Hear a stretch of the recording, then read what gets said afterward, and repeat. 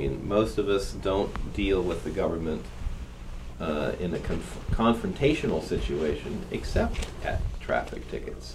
I mean, we all pay our taxes, and property taxes, and sales taxes, and whatnot. And those are government intrusions on our rights, but but it's the traffic ticket where it's a confrontational situation. So let's um, talk with George some more about how to beat traffic tickets. All right, welcome back to court strategies that actually work. Now, here again, we're not giving legal advice, we're not attorneys. This is for informational purposes only, as a community service. And we have not attended law school, so we don't even know what legal advice is. but let's go over court strategies here. And we need to discover first the foundational principles. In the first place, uh, the judge is usually not an elected judge. We'll go over that. Secondly, they have to prove jurisdiction because they're making the claim against us. And the maxim of law says that he who makes a claim must prove the claim. There's been no injury, so technically there's no crime. Violating one of their codes is not a crime. well, actually, it, it is because the legal definition of crime is a violation of public policy. And you see, the words public policy are any codes, ordinances, and stuff like that that they write. But you'll notice that it's not the violation of the law. so. Right. That's the legal definition. But as we brought out in the last uh, meeting, there's a vast difference between what's lawful and what's legal. Now, uh, we, we should discuss the other part there. The first one you have where the judge is not an elected judge. Very few judges at the courthouse are elected. I mean, maybe less than half of them are elected and the ones that do traffic court are definitely the you know lower on the list and not elected. They're usually commissioners. You can tell by the word. And what's the importance of having an elected judge, George? Well, by the California Constitution, we are uh, have the right to be heard by an, an elected, duly elected judicial officer is the legal term. We'll get into that. But also, there's uh, no real party in interest. In other words, who's coming after us? Is it the officer? Is it the state? Is it the DA? Is it the judge? We have to explain that. And the real party of interest is the person who's been injured. They have a person. They've suffered a personal injury or loss. Exactly, and, and who suffered that injury by our going five miles over the speed limit? And then, of course, uh, the oaths of office of most if not all of the elected officials and the appointed officials are defective. The charging instrument, which is the actual paper that sets the charges against you, is not only defective, most of the time in traffic cases, it's not even there. And that is the crux of our strategy. Uh, you can call it the charging instrument strategy. And of course, there's no contract. This is not a judicial court. This is an administrative court. They don't tell you that, but we are led to believe that it's official. I mean, after all, those judges wear those black robes, right? And they have the seal back on the wall behind them and the flags. The officer wears a nice press uniform every day with the shiny star. Uh, and they sit three feet off the ground, which intimidates the hell out of me. Yeah, the judges do. Uh, the, those officers drive fancy painted cars, special colors, with fancy flashing lights. It looks official, but is it? And that's what we're going to get into here. So, uh, those are the principles, the strategies that we're going to use is to challenge jurisdiction. challenging jurisdiction is the prime strategy that consistently works. And we have to understand if we hire an attorney to represent us, we automatically give up personam jurisdiction. There's such a thing called subject matter jurisdiction that uh, can never be given up, but we've already lost half the battle if we hire an, an attorney to represent us Personam jurisdiction is jurisdiction over your body. over the person, right? So, to do that, number one, we don't cross the bar. We'll get into the reason for doing that. We'll first describe what the bar is. Yes, the bar is that uh, long rail kind of wall, a low, low uh, wall in that separates The the. good folks from the bad folks. Yeah, exactly. So the judge and the district attorney are on the other side of the bar, and if we imagine the bar is like it's the, sh- the whole of the ship, and we're walking the plank to get onto the ship. So when you cross the bar, it's that little opening where you cross and you go in so that the judge can speak to you in his own little chamber there. And apparently, he I can't hear you if you're outside the bar, because when you state that you start talking to him from outside the bar, he will be very determined to get you to cross the bar and come in where he can hear you. And that all has to do, of course, with jurisdiction. There are a million ways that they trick us into giving it jurisdiction. Crossing the bar, stating the name, or answering to the name, that is, which sounds like your name, but is actually the name on their piece of paper is spelled in all capital letters. Actually, the name of the defendant. Exactly, the defendant. And we have to make a distinction here between yourself and the defendant because un- unless you agree you're the defendant, then uh, you're not. Uh, we have to go in, therefore, by what's called special visitation, which is a special way of coming before their tribunal without giving up jurisdiction. Because if there's such a thing as special and there's such a thing as general, special appearance and a general appearance. If you go in in general appearance, then you give automatically give up personam jurisdiction. If you go in specially, then the mere fact that you're going in under special appearance is uh, to chal- challenge jurisdiction. And of course, they know all this. and clarify issues that you have with the court rather than answer to the charges directly. Right. We uh, accept their oath on the record, and actually we challenge their oath as well uh, as to its sufficiency, because most of the, if not all, actually today, of the government officials don't take the proper oath.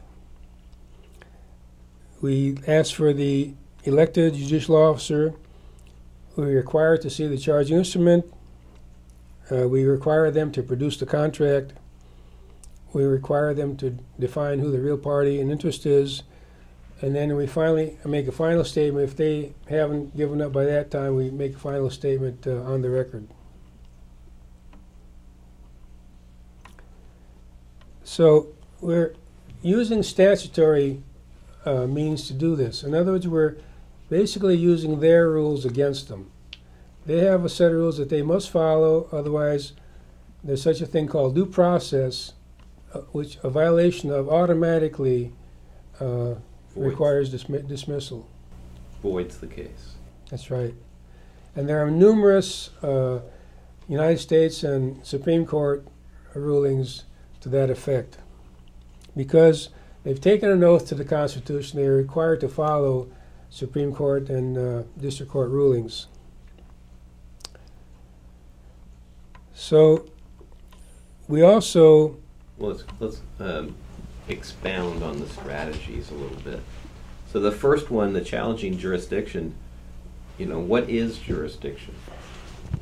jurisdiction has been defined uh, a lot, again, in the case cites.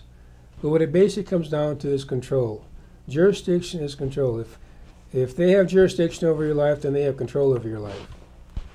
Now, not absolute control, obviously, but uh, certain aspects. For instance, relative to uh, driving, which is a commercial statutory term, relative to motor vehicles, another statutory term, and so forth. So if you admit to driving a motor vehicle, then they have jurisdiction over you. Well, Bill Thornton makes has a paper where he describes jurisdiction. I think it's a very interesting description, and that is that um, it's uh, Latin, and the words juris and diction. Generally, the word juris is law, and diction would be spoken, right? So it would be spoken law. But what he claims is that back in the feudal days, you know, in the early 1200s and 1400s and 1600s, jurisdiction was an oath spoken or a pledge. So if you pledged yourself to the feudal lord, the lord had jurisdiction over you because of that pledge, that contract. So we look at a jurisdiction as a um, something here. If you're a free man, then no one has jurisdiction over you because you're free to go about your business and do as you will. The only time when jurisdiction arises is when you've um, committed a trespass on somebody or violated a contract, and that other person can now have the sheriff hold your body to answer, which would be we have jurisdiction over you because you committed this act. Until you commit the act that grants us jurisdiction, we don't have jurisdiction. If you had jurisdiction over somebody all the time, they would be your slave, wouldn't they? I mean, for me to say that I have jurisdiction, control over somebody else all the time because you live on a certain street or you know you're a certain age or you have a certain piece of identification in your pocket that grants me jurisdiction. That would not be true because slavery is outlawed so we can't have jurisdiction constantly. So jurisdiction can only arise when you've injured somebody and at that point a party would have jurisdiction over you. Very well. So our strategy in applying a strategy, uh, for one thing, we do write paperwork, and some of this was presented the last time. We'll just quickly review that. And the strategy is for them to prove their claim because the maximum law is who, who makes a claim must prove that claim. And finally, we get into oral argument if the uh, initial paperwork does not prevail, then of course we have to go into court and uh, defend ourselves.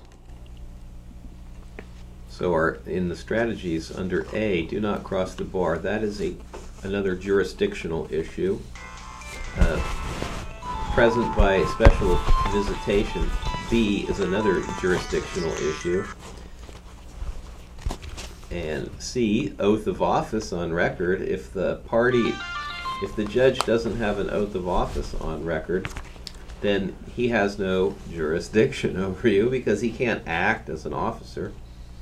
If he's not an elected official and you challenge him on that, then he has no jurisdiction over you. So almost all of these are jurisdictional challenges that you have to understand. The charging instrument is another jurisdictional issue because if there's no charging instrument, you can't answer to any um, trespass. I mean, the charging instrument is supposed to be a claim that you have violated the law. And it has to be a valid claim in order for you to be able to plea to it. So if there's no valid charging instrument, then they have no jurisdiction because, as I stated, jurisdiction is acquired when you've broken the law, and we're talking common law. The elected official um, position is, you know, maybe George can explain that. It's it's a uh, constitutional uh, right that you have to be heard by an elected official, but you have to make the claim in order to get it. You have to make any claim in order to have them uh, consider it. And that's why we bring up everything we, we possibly can to challenge their jurisdiction. So uh, I think we can go forward uh, with the court script at this point. Where the application uh, has to do with the written paperwork, and the written paperwork initially is responding within three days uh, to their claim by refusing for cause their yeah canceling the contract by refusing for cause uh, due to fraud, and they will never give you a cause because then they would expose themselves, and then it comes down to proving your claim. Uh, and along with the paperwork, the initial paperwork, we also make up an acceptance of oath of the actors, the government actors, and uh, we also work up either a notice and demand, which is in common law, or we uh, work up a demur jurisdiction giving a lot of points and authority, so that's unassailable basically. Yeah, common law freeman does not make motions to the court for the judge to decide. The common law freeman makes notices and demands. A notice is making them aware of something that, so that they can investigate and do due diligence and not get stuck. And a demand is that you perform a requirement. If you ask, if you put in requests, they can deny them. But if you if you make it a requirement that they answer, then they they will go into dishonor if they don't answer. That's a very good point. Uh, if you hire an attorney, they will use motions. And a motion is basically uh, begging, it's requesting the court. And they can basically rule any way they want in that respect. So the first thing that happens uh, when you get that ticket is you send back three copies. You make a color copy front and back um, with red ink marker right across them. Refuse for cause. I would use res, red pen because my experience is red in, ink marker is way too hard to read. But get yourself a red pen. And over the face of it, just uh, at an angle. We, all, we have templates and things that, that you can, so you send those back. You, uh, the one to the officer that made the presentment, one to the prosecutor, was usually the DA, the district attorney, and one to the court, Clerk of the court. clerk, clerk of the court, to file with a letter, say, uh, to the effect that you're filing this because you want to prevent a fraud in the court. Now, the officer really at that point is required to notify the court that there's no case because there's no contract. You've just rescinded it, canceled it, but they never do. So that's why we have to go in and preserve our rights and make sure there's no fraud in the court. And that's the strategy we're using is going in um, on that basis. So the first thing in court is that we do not cross the bar. When the name is called, and it sounds like your name, but it's actually spelled in all capital letters, that all capital letters signifies that that's an artificial entity. All capital letters is actually corporation. That's the way the corporations are uh, denoted. So when we go to, uh, we can go up to the bar, and uh, the judge will say something like, uh, "Come forward," or uh, something of that nature. When he says that, you can say something like, "Thank, uh, thank you for your offer.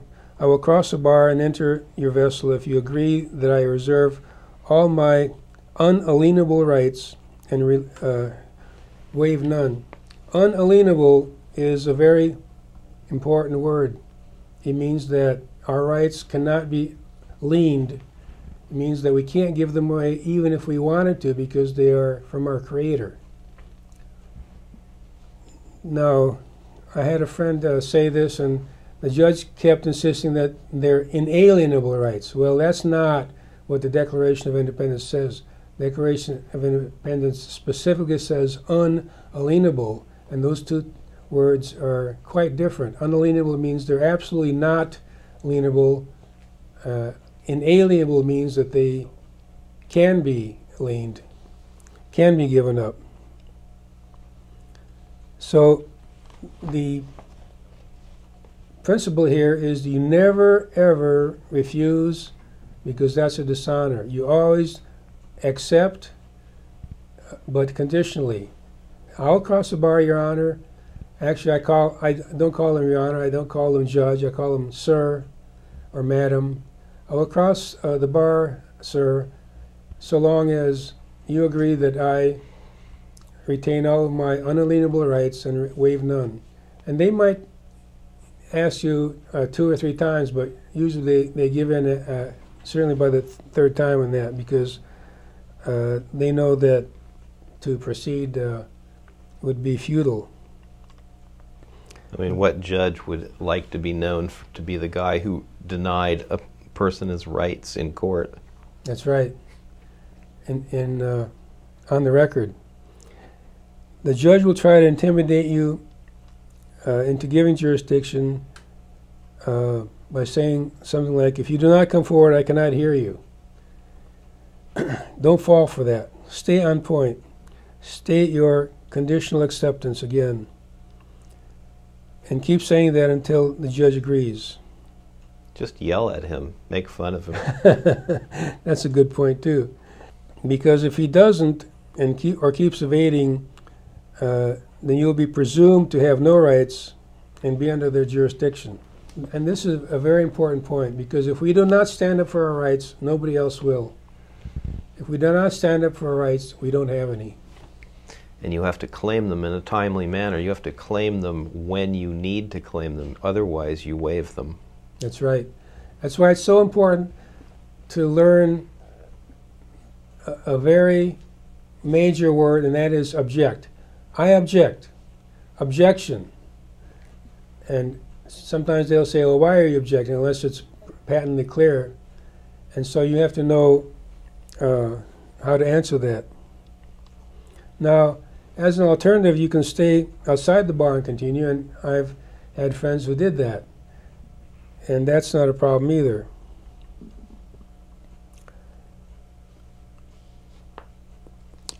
So, uh, we next go to special visitation.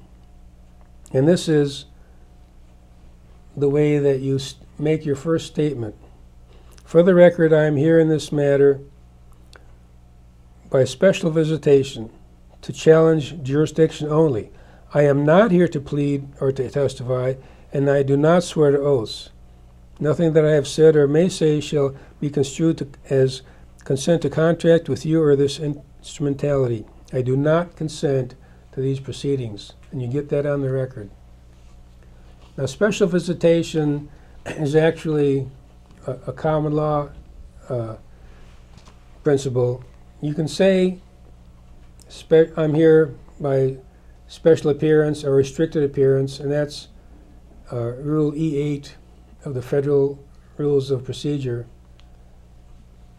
and that's fine because after all we are doing this statutorily and so we're not concerned whether it's uh, technically common law or statute we're using their rules against them but at that point the judge and everybody involved there will clearly understand that you're challenging his jurisdiction that's all you're there for now they're going to try to rope you into consenting to their jurisdiction by saying something like uh, well, how do you plead or?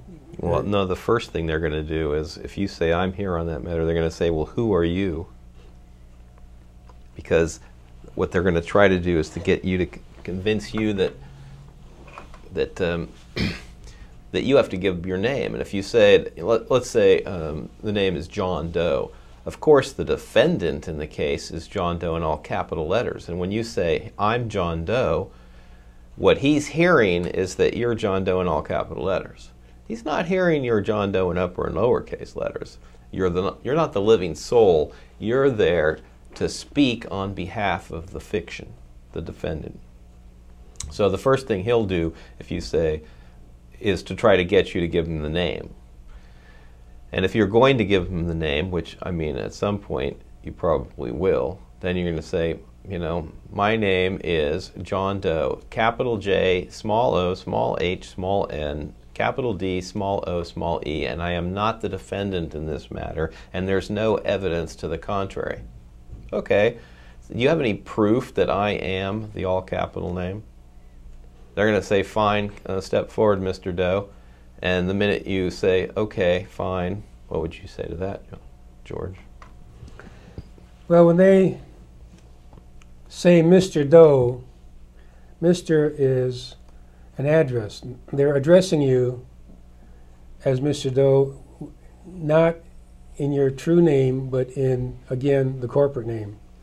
Now, just to give you an idea of how important that name is, uh, after you say your thing about being there by special visitation, only to challenge jurisdiction, you can then say, on and for the record, give me your name, please, uh, speaking to the judge, both uh, the judge and the prosecutor. Now, they're not going to give you their name because if they did, they would be giving you jurisdiction. You could dismiss the case uh, at that point immediately. So they're going to play around. They're going to say something, well, um, I'm Judge Smith. My favorite is it's not about it's not about me. It's about you. right. So they're going to dance around that, evade the question because if they told you their name, again, the case is over. You could uh, dismiss it at that point immediately.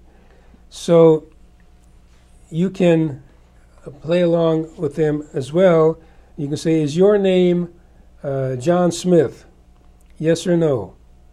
And if he evades that, you can Im implement uh, a famous court case uh, called U.S. versus Tweel by saying, according to U.S. versus Tweel, by which Supreme Court decision you are bound according to your oath of office, on and for the record, let the record show that in the absence of a negative response, John Smith answers in the affirmative. In other words, you're answering for him by tacit consent. He who fails to deny consents. Exactly. Now, uh, you do not answer to the name directly because you are then certifying the, uh, the charges to the court by testifying what your name is it gets pretty involved here because what's really happening is that they are creating a constructive trust and appointing you trustee by which terms you are required to perform. A trustee is always required to perform unless trustee can show that he, he has a paid receipt to the beneficiary, then he's liable. And we, we're not going to go into that, but just keep that in mind that, that the games that they play are so deep, the rabbit hole runs so deep that it's uh, mind boggling how they've set this thing up. And that's why the Constitution does not apply. You often hear judges say, don't bring up the Constitution or hold you in contempt. The Constitution does not apply here. So, in order to uh, avert that, you need to get their oath of office on the record. Well, the Constitution doesn't apply because you didn't sign up for it, did you? I mean, you're not a signer to the Constitution, so there's no contract with you. However, one person who did contract is the judge and the DA and the sheriff and the policeman and every elected or appointed official are they are required to take an oath to the Constitution. Now the oath becomes an offer. The oath is I promise to uphold the Constitution of the United States and the Constitution of the State of California. Sounds like an offer to me. All it's waiting for is my acceptance in writing. So I go down and get a certified copy of the oath of office and write across it in red pen, I accept your oath of office as a binding contract. Now we have a contract where he can't say the Constitution doesn't apply in my courtroom. hey, you offered, I accepted. That's a contract. Right, and that's uh, point three on the uh, outline there. You can show them the acceptance of the oath that you would put into the record. There's the acceptance of the oath right there.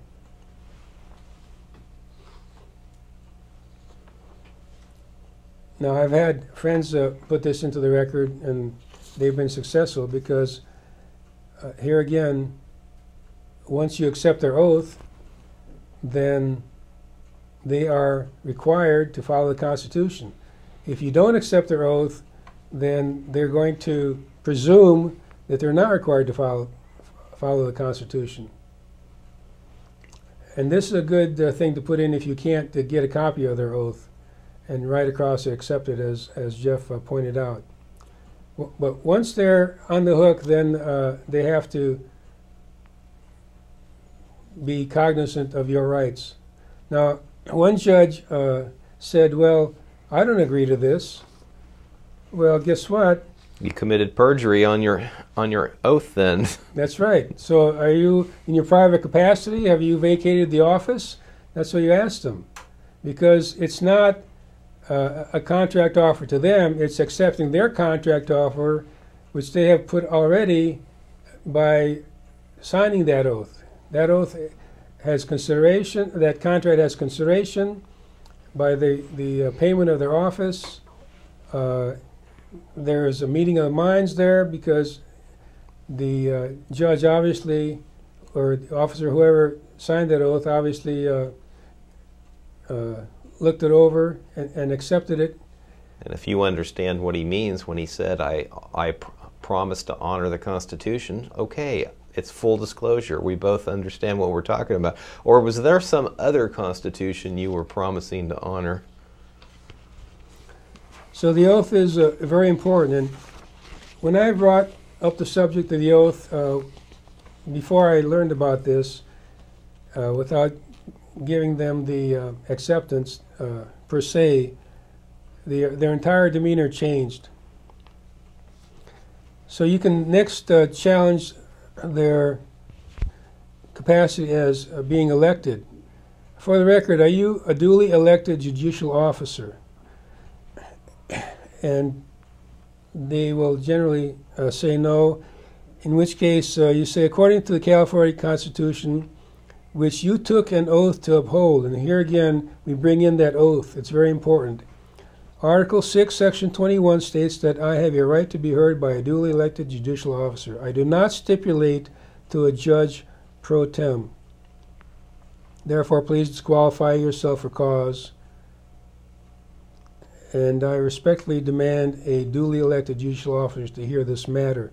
I always call it a matter. I don't hear it a, I call it a case because uh, they don't have a case, and you don't want to give them a case unless they jump through all the hoops and prove jurisdiction and, and due process. Yes, you don't consent to it being a case. Exactly. Uh, here in this county, the traffic court is downstairs, and all the uh, sheep are herded in there. They're often uh, brought before the judge in groups if they have all the same uh, violation or something of that nature. Uh, you never accept that. You never uh, stipulate to that. You always object. But once you challenge the standing of the judge to hear the case because he, uh, they're not elected, they will send you upstairs to a uh, duly elected judge. and here's this stupid little traffic ticket before this elected judge who's hearing felonies and murders and robberies and things. He's saying, "What the hell is this traffic thing doing here?" Uh, well, guess what? Uh, that's exactly what you want them to understand. They're they're going to want to get rid of that thing right away. It's not worth their time because it's not. Uh, uh they're making big money. Exactly. They're they're, they're with the, the penal sums for murders and robberies are huge compared to um, dinky traffic tickets. And they get a part of that action, by the way. Yes, and that's uh, uh, conflict of interest. So you then, uh, at that point, proceed uh, to the charging instrument. Once you get before the elected judge, and here again you do crossing the bar, you do oath of office, and all that previous, but now you're before an elected judge. And so you ask the uh, DA, because the DA is the one that's supposed to prove the charges. Do you have the charging instrument? And they generally will not. Uh, the traffic cases almost never ever have the charging instrument. So immediately the judge has to dismiss. Do you have the because if the judge asks you to plea, sometimes we'll, he'll say, "Well, how do you plead?" You have to say, "Well, to what do I plead? Where are the charges?" You know, am I supposed to plead to you, to heaven, you know, to the DA? There has to be a charging instrument to plead to. There That's has- the law. Yes, there has to be an accuser. And the charging instrument basically comes from constitutional law. It's like the Fourth Amendment. In order to have your person, property, etc., seized, you need an oath or affirmation, sworn. Sworn. So an oath is a sworn, uh, sworn testimony. For a charging, for a complaint to be valid, it has to be uh, you, the complaining party, the accuser, has to swear before somebody who's able to hear the complaint. And under Penal Code 872A, basically, if you're arrested, they're supposed to take you before a magistrate, and the magistrate hears the complaint of the party. Now, if let's say you saw your neighbor hit somebody over the head with a baseball bat, your sworn testimony would be taken down before a policeman, and then the policeman would go before the judge and said, "I have I personally witnessed the testimony of Bob Rowe, who stated that this man here hit him over the head with a baseball bat." So the testimony would be Bob Rowe to the police officer. The police officer would be the one hearing the testimony. In a traffic case, there so there has to be two signatures. In other words, there has to be the party making the accusation, and there has to be some competent person like a notary, a judge, police officer. There's only so many people that are allowed to technically be able to take a, uh, hear a complaint. Um, Testimony. testimony and witness it. And, uh, you know, like a notary witnesses the testimony. Well, a, a judge can witness testimony. Man on the street, I can't witness testimony, right? Not for a lawful complaint.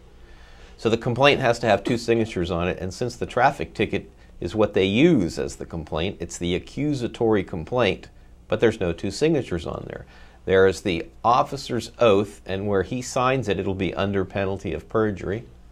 So he's swearing under penalty of perjury, but he's not swearing before a party that is capable of hearing his testimony. And since he arrested you, let's go back to that point that he arrested you, he detained you, you were under arrest when you were stopped. The Fourth Amendment rule applies. You can't take you can't seize my body without an oath or affirmation, and that has to be sworn testimony before somebody capable of hearing it. So this is why the um, charging instrument complaint is a very valid one. So the charging instrument is central to everything. Without that, they have no jurisdiction, they have no case. End of game. So you have to bring that up. Uh, an attorney will never bring that up. Never. Because if he does, he's going to get disbarred. An attorney is there only to bring business into the court. You have to understand that attorney is an officer of the court. He gets his license to practice from the court. He gets his business from the court. And uh, so his first priority, of course, is himself. The second priority is the court. And if you come along somewhere down the line, then uh, whether you win or lose, you know, isn't very important because he's going to get paid either way. and his first oath is to the court, not to you, his client. His client, that's second on the list. Exactly. So that's why it is so detrimental to hire an attorney. What they generally do is they cop a plea. Well, you can do that yourself. You don't have to pay them two thousand or four thousand or however much they're going to charge you just to cop a plea. So the charging instrument uh, is the most important point here, and we need to understand its significance. We need to understand how to demand it properly and not be blown off. We have to stay on point. The judge is going to say, "Well, John Smith, you've you've been charged uh, with uh, speeding 20 miles over the limit. That's a serious charge." Excuse me, sir, but do you have a charging instrument or not? That's what. That's your only response. Yes or no. If not, then please dismiss this matter with prejudice. That's what you have to say. Because dismissing it with prejudice means they cannot refile the charges again. When, when what you're in court there, even though it's a traffic case and you think it's like no big deal, it's an arraignment. Because anytime you're, they're asking for a plea, you're being arraigned. They're going to have the arraignment at the trial at the same time. However, the bottom line is that if you, you can't go straight to trial until you've pled not guilty or guilty or no contest. So if it's an arraignment, Penal Code 988 says that you have a right to receive a copy of the charging instrument, but in a misdemeanor and in, a, in an infraction, which a traffic ticket's an infraction, it would be only if you ask for it. In other words, if you don't ask for it, they don't have to give it to you. They don't have to show it to you. If you ask for it, they have to give you a copy of the original. If there's a copy they give you that's unsigned, then there's no complaint. So if they're going to say that the traffic ticket is the complaint, then there's no two signatures on here.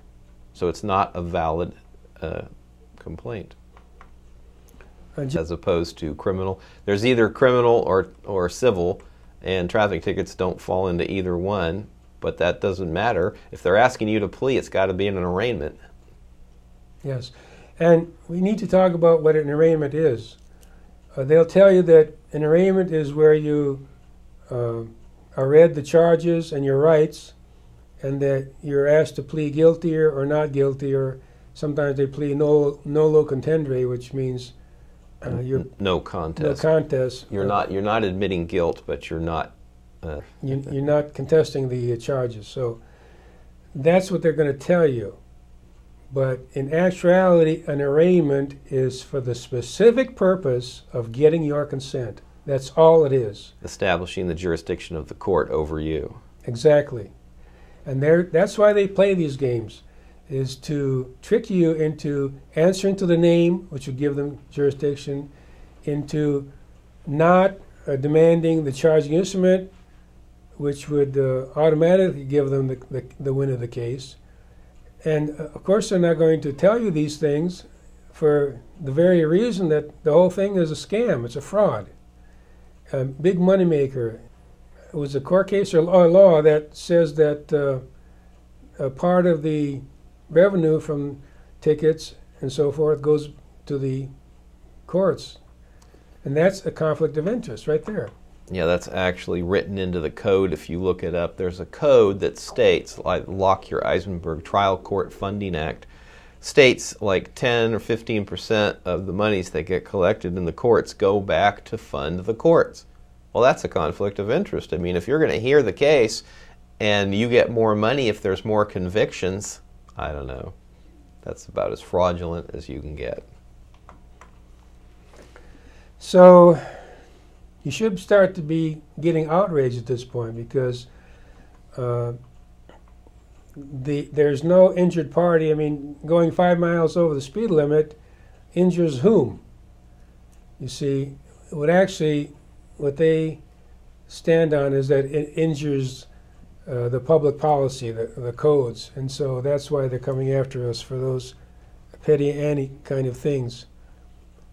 Now, they should drop it right now, especially if you're in front of uh, A knowledgeable. a knowledgeable uh, elected uh, ju- judicial officer, especially if you don't have a uh, complaint. And I've had several of these drop because of that. But if they continue to proceed, then you need to uh, get out the heavy guns here. And I would suggest that you write up either a notice of demand or a demur with all the cites uh, and so forth to file into the case at that point.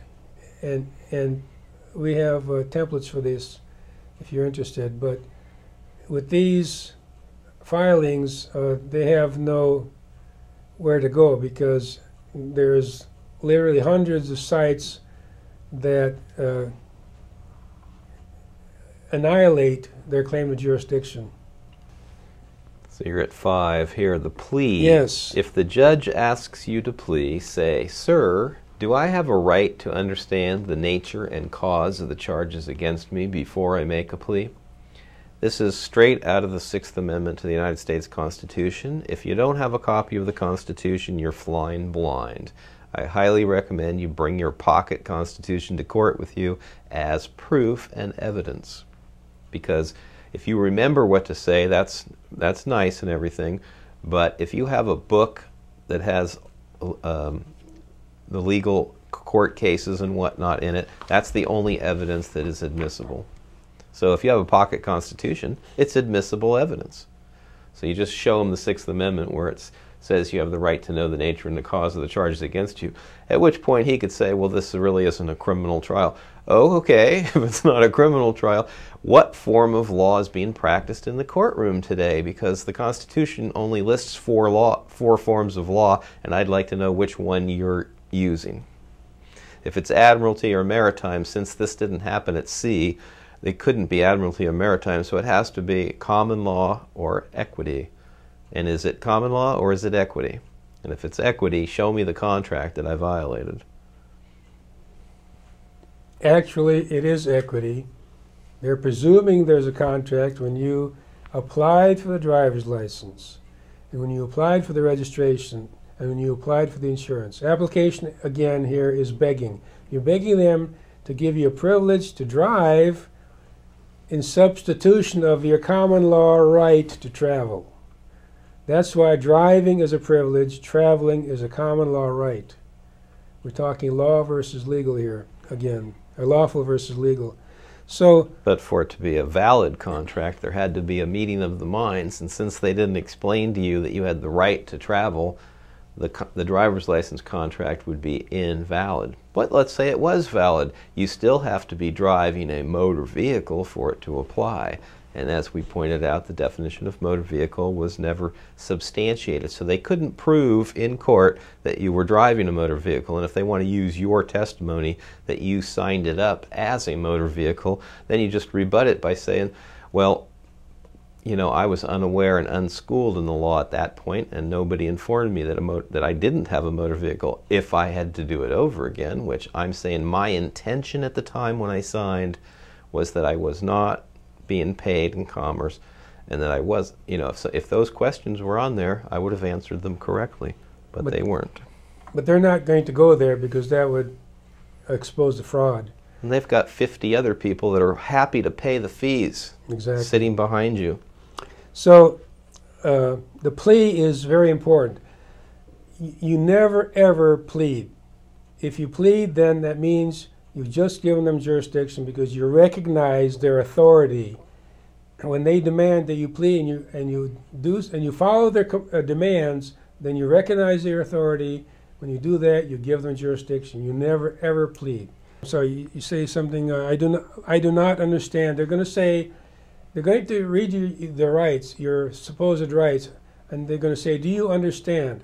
Well, that word "understand" here again is another a secret code catchphrase. It doesn't mean "Do you comprehend?" It means "Do you stand under? Do you accept the charges?" Therefore, you say, "I do not understand." Well, they're going to say, "Well, what the, don't you understand? I mean, you've been charged with uh, speeding. Uh, what's the problem?" You're going to say, "I don't understand any of it." I do not stand under these charges. And then they will very clearly see that, that you uh, comprehend. the other thing to note is that um, the penal code allows the judge to plead for you if you refuse to plea. So you have to state unequivocally on the rec- record that I am not refusing to plead. I do not have anything to plead to. The court hasn't established that it has jurisdiction, and there's no valid charging instrument for me to plead to.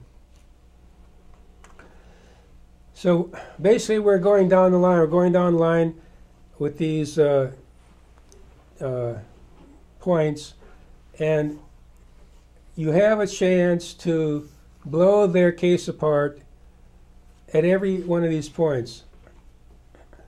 So if you fail in one, you always have the next one coming up. Now, if the judge pleads for you, you can say, well, I uh, uh, revoke the plea pursuant to Penal Code 1018 and I demur. And you can do that. And Or you can just accept it and say that since the judge is a lawyer and he should know well that if he pleads and speaks for the defendant in court, he has just shown his willingness to represent the defendant. So you just accept it and say, Thank you very much for your showing your intention to defend the defendant in court and accept surety for the defendant. In other words, you're going to accept surety, pay all the bills for the defendant. Now, since this is a court of equity, there has to be a contract. And you can demand that. You can say, please uh, uh, take judicial cognizance of my affidavit. In other words, before you go to court, you always you, you can always uh, file an affidavit. And this especially works well for, for misdemeanors. Uh, and you, then you can say, uh, please produce the underlying contract in, in this matter because I wish to dispute the contract. They cannot because uh, to do so would expose a scam. Uh, moving on quickly, uh, there's always three questions you can ask. what is the nature of the charge?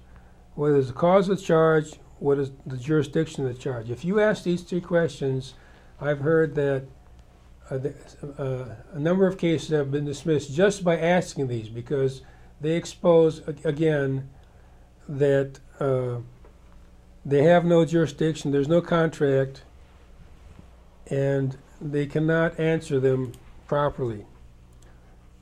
And then finally, uh, you can ask for a complaining party.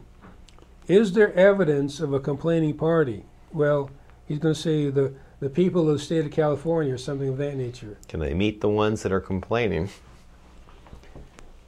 In which case, you can reply to, I did not ask who is the complaining party. I asked for evidence of the complaining party. Please bring forth the evidence if you have it. And they don't. It it's, uh, goes back to the real party in interest. Who actually is bringing the charges? The people of the state of California? Who's that? Please uh, produce that uh, complaining party or evidence thereof, and, and they can't do that. Yes, they'd have to actually produce somebody who could claim that they have suffered an injury or a loss, and they can't do that. or someone who represents the people of the state of California. Now, the uh, district attorney, the prosecutor, is going to claim that he represents the people of the state of California, but then you show him, you ask him for the, his, his delegation of authority, and he, he can't produce that. Yeah, does he have signed power of attorneys from everybody in the state to represent them? So, the basic point is that they have no case. There, are, there are so many holes in their in their supposed case that it's like a sieve, and any one of these uh, defects is fatal to their case. So we'll, uh, uh, if if it gets this far, and it should not even come close, you can make a final statement to the district attorney. You have not brought forth a valid charging instrument or, or uh, certify the charges. you, you do not have, you have not produced evidence of a complain, complaining party. You've not produced the underlying contract in this matter. Therefore, do you have any facts or admissible evidence that you have both in personam and subject matter jurisdiction in this matter? Yes or no? And you can bring in US, US versus Trill again as we did with the judge before. Then my public business is finished here. Please release the order of the court to me immediately. Now, you need to know what this is all about. The bottom caveat there is very important. Warning, do not know, use this if you do not completely comprehend it. You need to know because the judge is going to test you. That's why he's there. He's going to weed out the pretenders. And if you're a pretender, then it's going to go very badly for you. Just remember, it's Satan's job to tempt you. Exactly. Therefore, you need to know the law and you need to know how to express it. Uh, you'd be well advised to practice the court script to, to bone up on the uh, statutes, rules, and regulations, the penal codes that we have cited, the court cases that we have cited, so that you can spout them out. Because if you know it that well, they know that they have someone they, they, they cannot uh, hoodwink. You should write everything out on a piece of paper and bring it to court with you because you're not going to be able to remember all this. And if you want to read uh, penal code numbers and stuff into the record, have it written out on a piece of paper. When you get the piece of paper, you can read your opening statement off the piece of paper. You can know what, you know, you can prearrange like a chess game. The judge is going to ask you this question, and then you're going to have your answer to that question. You know, he's going to ask you, are you going to represent the party? He's going to read the charges. He's going to ask you if you understand the charges. He's going to ask you to enter a plea. That's the biggie. And then you're going to have to know how to react to those things, what to say. And if you write it out on a piece of paper, pray to God when you go in there, relax, you'll be fine. Have fun. Most of all, have fun.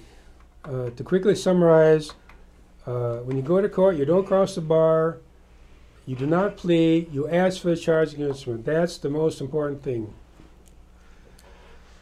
So our time here has come to an end, and we are happy to present this information to you and hope you will research more on how to fight your traffic tickets because it can be done, and George has been successful numerous times. I've been successful.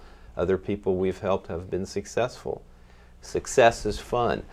Besides which, when you go to court, this is an opportunity that you won't get anywhere else, where if you lose, you're going to pay what you were going to pay anyway.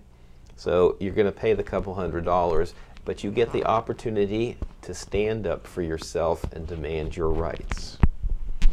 Love's the highest power. Thank you for watching. God bless, and remember, have consideration for everyone else out there.